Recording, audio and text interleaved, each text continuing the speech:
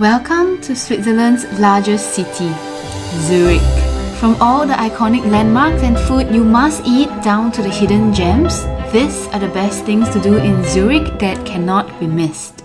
The Old Town is the historic heart of Zurich which beats on the both sides of Limmat River that runs through it Starting from the left bank, we have Bahnhofstrasse. This is the first street you see stepping out of Zurich main station. It is the world-renowned shopping boulevard of Zurich. Here, you can find everything that your heart desires with numerous boutiques, department stores, luxury goods, and timepiece stores.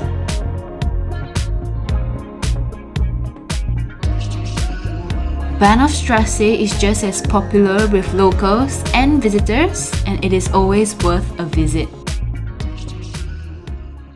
From Bahnhofstrasse, Augustinergasse leads off into the picturesque old town. It is one of the most beautiful historical narrow streets in Zurich, with many well-preserved, colorfully painted bay windows. It provides an insight into the history of the city.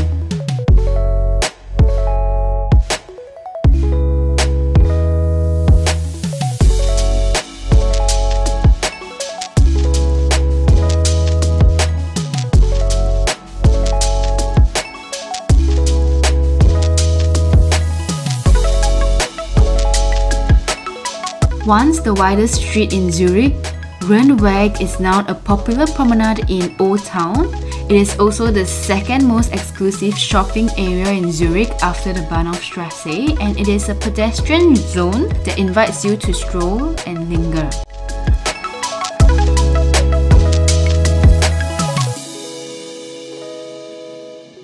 Climbing up a little hill, you reach Lindenhof, haven of peace and tranquility in the heart of the city. It's a meeting point for passionate chess and petanque players. This spot provides a glorious view of the old town, Grossmünster Church, City Hall, the Limmat River, the university, and the Swiss Federal Institute of Technology. It's definitely my favorite spot in Zurich. I could just sit here whole day admiring the most beautiful view of Old Town.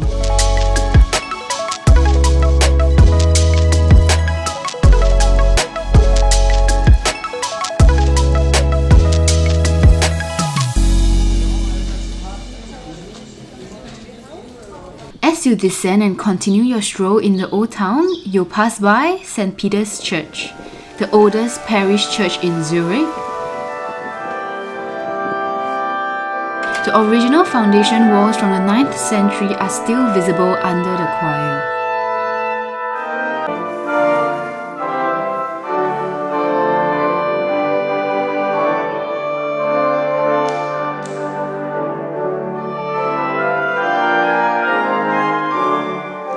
St. Peter's Church has the largest church clock face in Europe measuring 8.7 meters in diameter.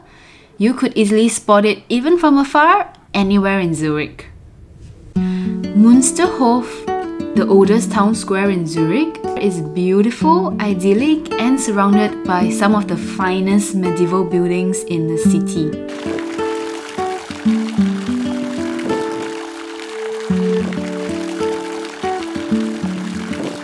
one of which is an important landmark of Zurich, the Fraumünster Church. Important architectural features include the Romanesque chancel and the high-vaulted transept. Its most stunning treasures are the stained glass windows by Augusto Giacometti and the five-part window on Man's Path to God by Marc Chagall.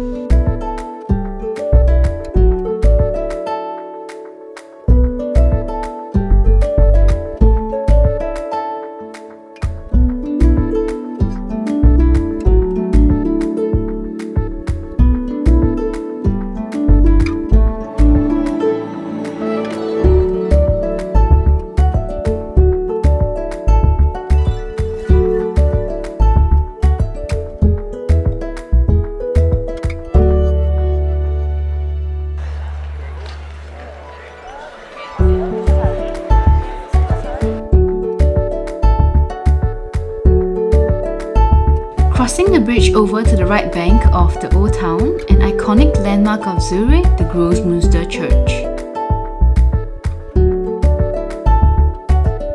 It has the most modernized stained glass windows I've ever seen. You can climb the church towers at 5 francs to see the city from above.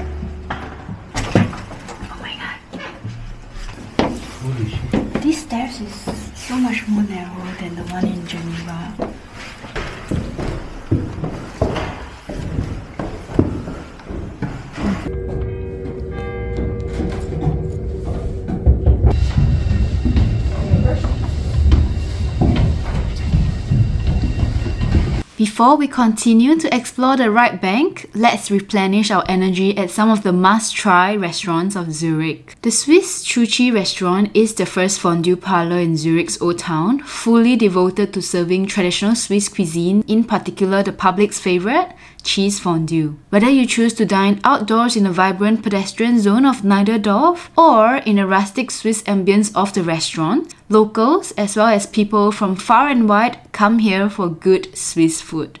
Hirsch holds a Guinness World Record of the oldest vegetarian restaurant in the world. Founded on 3rd July 1898 in Zurich, it continues to be managed by the fourth generation of the Hiltl family till today. You can either choose to enjoy an all-you-can-eat buffet or reserve a table for a sophisticated service in the a la carte restaurant where exclusive signature dishes are served. In the charming Niederdorf district of Zurich's Old Town is the renowned Vittorio Vanini, a place where the culture of Swiss chocolate has been celebrated since 1871. They serve some really amazing gelato and chocolates. I highly encourage you to try.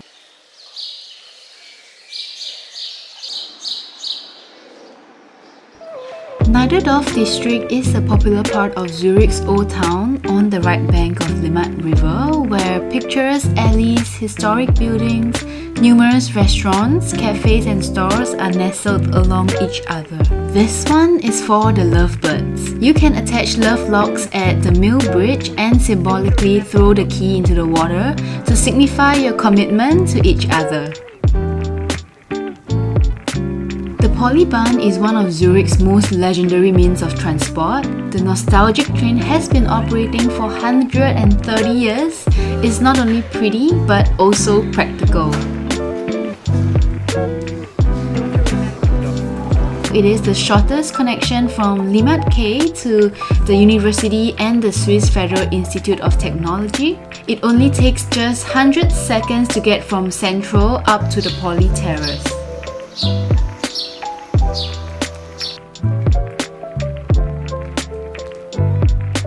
Once you reach the top, you can enjoy a wonderful view of the old town and Lake Zurich from the Poly Terrace.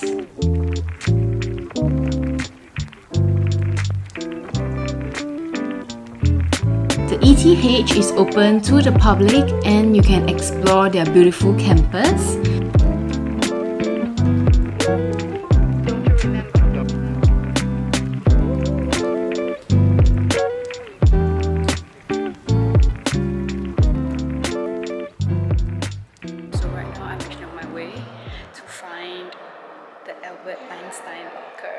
Albert Einstein is probably the most famous alumnus of ETH Zurich. Between 1896 and 1900, he studied here and graduated with a diploma as a specialist teacher in mathematics and natural sciences. As a professor of physics, he has founded the basis for his theory of relativity here between 1912 and 1940. Discover his various stations during his life and peek into his locker located on F floor.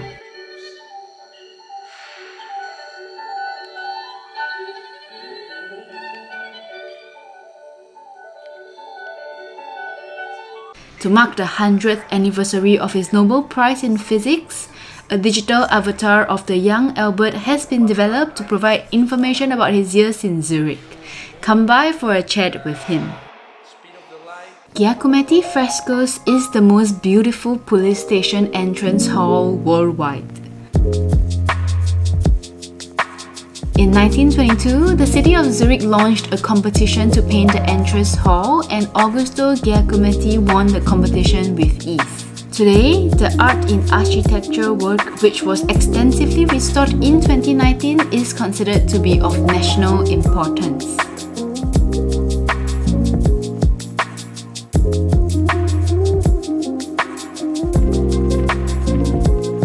This can only be accessed by a public tour from 2 pm to 5 pm on Wednesdays to Saturdays, free entry. Zurich is a very walkable city, but when you get tired, you can easily hop on to any of these trams. We are heading to Sechseläutenplatz. This is one of the largest inner city squares in Switzerland and the perfect place to spend an idyllic afternoon by Lake Zurich and the Opera House.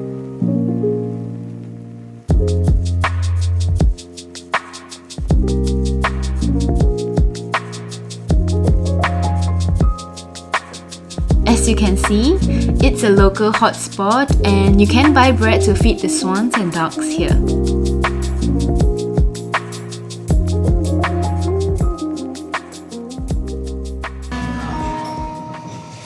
Nächster Halt Uetliberg Endbahnhof.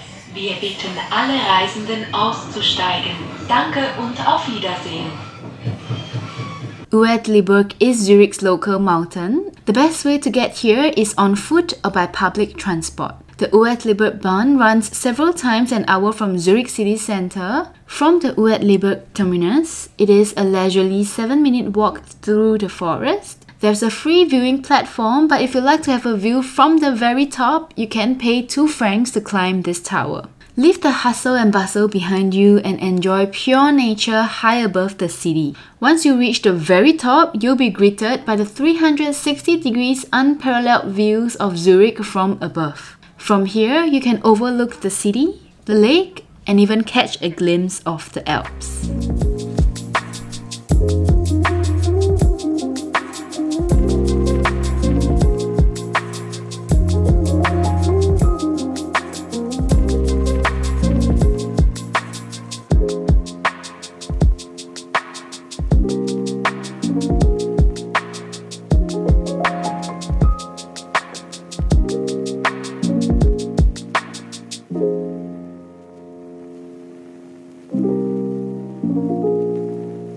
This is an insider tip for anyone seeking peace and quiet. The Schanzengraben, aka the Venice of Zurich, is an idyllic waterside promenade that lies around 2 meters below street level, located in the heart of the city, yet far away from the hustle and bustle, and zigzags over a boardwalk and sandstone slabs along the old botanical garden. Here, benches and exotic trees invite visitors to stop and linger. In summer, you can also experience Zurich via a city sites kayaking tour with Neklen, a former canoe polo national player where you start at Schanzengraben and paddle your way to Lake Zurich.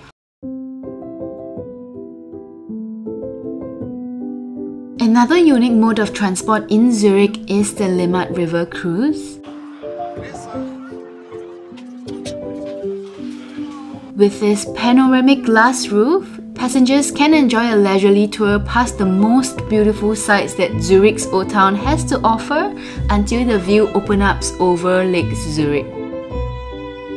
This is a great way to explore the city, especially when it's raining. The entire round trip takes 15 minutes, but you can hop on and off based on where you want to go. We eventually decided to alight at Land Museum, the National Museum which houses the largest collection documenting the cultural history of Switzerland.